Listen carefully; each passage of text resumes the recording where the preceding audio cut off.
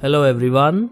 In today's episode, we will look at growing okra in containers. So, we are starting our okra seeds indoors.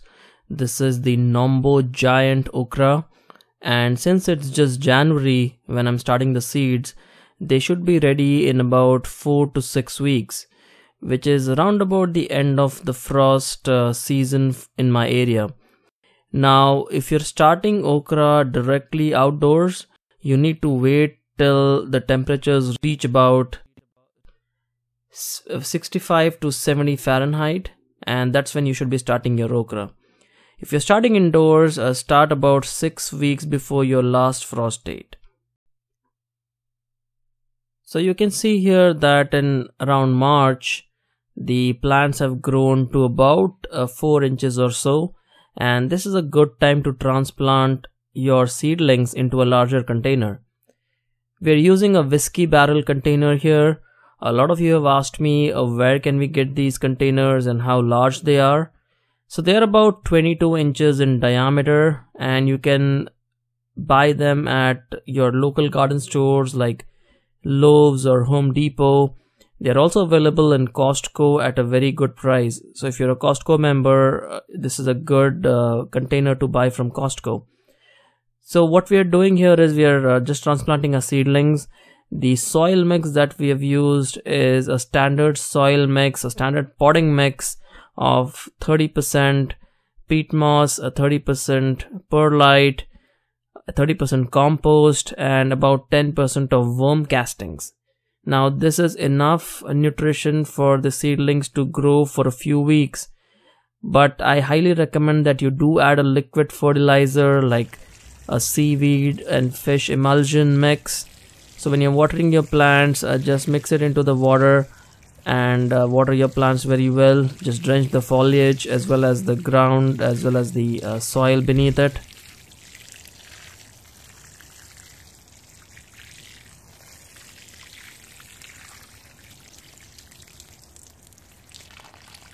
and you want your soil to be well draining. Now when you set up your container for the first time, it might happen that your soil doesn't drain too well because it's trying to absorb all the moisture for the first time. But eventually your soil should be well draining. That's the number one reason why a lot of gardeners are not able to grow good vegetables is because their soil is not well draining. So you need to have soil that drains very quickly and you will shortly see that the soil that we have is actually very fast draining. Now we had an unusually cool uh, March, April and May in our area. So okra needs very warm temperatures. Here you can see that even in April and May, the plant has shown a little bit of growth, but not really a lot of growth. That is because for okra plants to grow well, the daytime temperatures have to be in the 70s and the nighttime temp- temperatures also have to be at least around 60 to 70 degrees. That's when the okra will start growing. And you can see here that by June is when the plant actually shows a lot of vigor and it's showing that one okra that's grown and till June it was a very slow ride but uh, we're going to go ahead and harvest our first okra this is in june. But once the warm weather kicks in and you have hot days and warm nights the okra plants are going to grow very quickly. So as you can see here this okra is a pretty good looking okra and quite big in size compared to the regular okra. And you can see here that as soon as it's june the plant is flowering like crazy and producing a lot of pods. So June and July are the harvest season. If you start your okra plants early, you can see here the pod.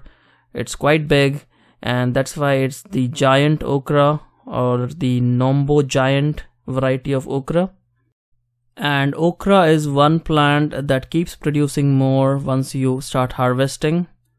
You can see here beautiful looking okra and I will provide a link uh, to the seed source in my video description so you can buy these seeds and start planting these in your garden.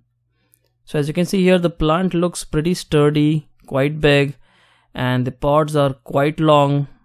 So as the plant flowers and grows, uh, just make sure that you're feeding your plant well with the good fertilizer, uh, liquid fertilizer every three weeks or so. And if you're using a slow release fertilizer, if you use it at the time of planting, uh, this is a good time to reapply your fertilizer. So as you can see here, uh, these uh, plants have produced very nice looking pods. And this is our first harvest of a few okra here. And once the plant starts growing you can actually start harvesting a lot of okra and for the rest of the months of uh, June and July you can keep harvesting your okra. They will produce a lot of okra. As long as the temperatures are warm or hot okra even loves hot temperatures. And since the temperatures are hot you need to make sure that you're watering your okra plants well. Now containers drain very fast and uh, it depends on the kind of potting mix you use. If you use a lot of compost your potting mix will retain a lot of moisture. But uh, if you use a standard potting mix like i described with 30% peat moss 30% compost and 30% perlite with, with some worm castings you will need to water your containers almost every day during the hot days if it's not too hot if you're getting cloudy days or uh, not enough sun it's okay to water them every 2 to 3 days but since okra thrives in hot weather it usually grows very well when you have sunny days and very hot temperatures so during this time, it's very important that you don't let your okra plants wilt. So make sure that you're following a nice uh, watering schedule. If you have a drip irrigation system that takes care of it. If not, I highly recommend that you check out my video on installing the drip irrigation system for your containers. It works very well. And as you can see here, the okra plant is now loaded with a lot of pods. And this is why I liked this variety this variety did produce a lot of pods and uh, the pods were quite large in size. So it was a decent harvest every time uh, we harvested the pods from the okra as you can see here from just three plants. Now for the regular sized okra I would have to use an entire raised bed at least a 4 foot by 4 foot raised bed but as you can see here for this uh, okra variety the giant variety it can be easily grown in this container. And remember that uh, this giant variety is not a GMO, it's just one of the varieties that's uh, native to the Philippines. And it grows very well in that country. And the seeds are available via Amazon so that they can be uh, planted in other areas as well. So I will provide you a link to the seeds uh, once again in the video description.